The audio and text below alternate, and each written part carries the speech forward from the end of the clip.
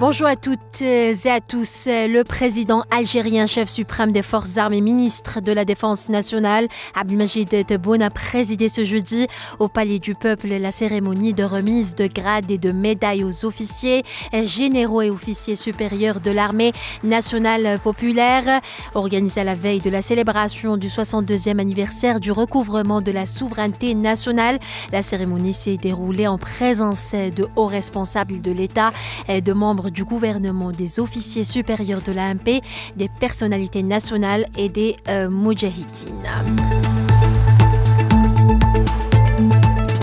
En Palestine occupée, le bilan de l'agression génocidaire sioniste contre la bande de Gaza s'est alourdi à 38 011 martyrs et 87 445 blessés.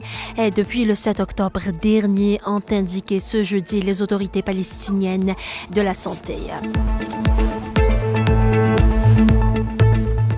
Les bureaux de vote ont ouvert ce jeudi au Royaume-Uni euh, pour des législatives sur lesquelles près de 50 millions d'électeurs sont appelés aux urnes pour élire euh, le gouvernement et le Parlement qui gouvernera le pays pendant 5 euh, ans.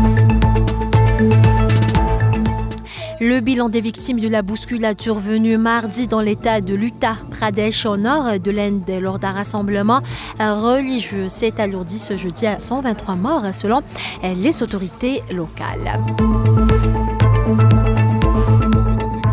Et puis en France, le ministre français de l'Intérieur a annoncé jeudi la mobilisation de 30 000 policiers et gendarmes dans 5 euh, 000 euh, dans la capitale et en banlieue euh, parisienne pour la nuit et la soirée du deuxième tour des législatives prévues dimanche 7 juillet.